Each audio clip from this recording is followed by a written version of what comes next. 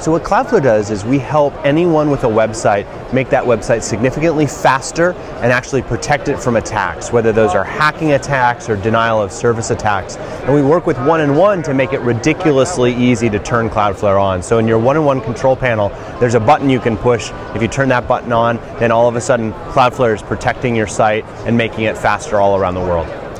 So